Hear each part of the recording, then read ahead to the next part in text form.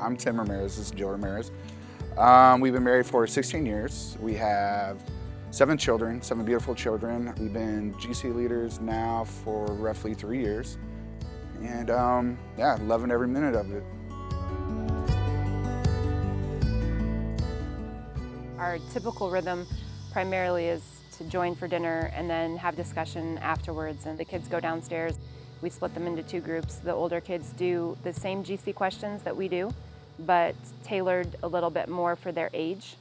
Um, and then the younger kids, we use the curriculum that they use on Sunday mornings for city kids, and we do worship and we do an activity. Um, we usually have individuals, maybe two individuals, read the verse. I will uh, kind of summarize um, what the week's sermon was, and, and then just go from there.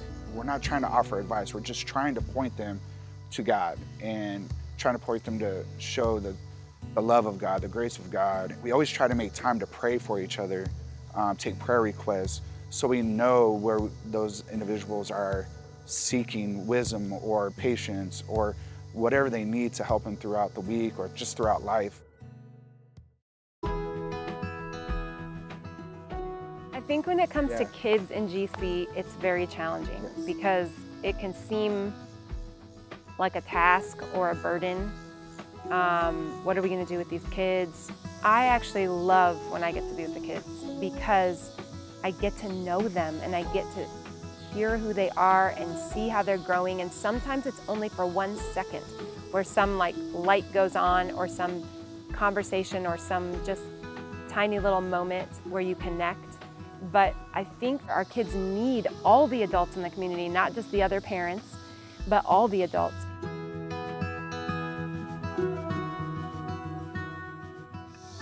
I think when you invite somebody to lunch or to coffee, um, it gives the, an opportunity for a more one-on-one conversation. Keep in touch and ask those questions. Hey, you mentioned this last week, or you mentioned this a month ago. How are you doing? How are you struggling? Are you still struggling with that particular topic?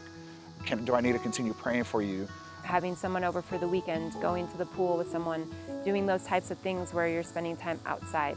And I think that's so important, but especially when you start to see it happen outside of just the leaders and you start to see people in the group doing it, then you see this evidence of growth.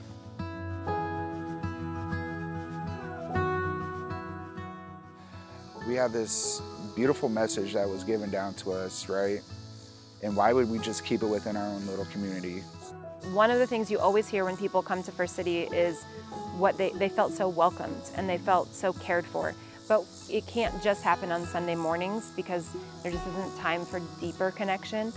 And so if we really want people to be connected, it's going to be through a GC. In order for that to happen, we have to make space and so we have to multiply.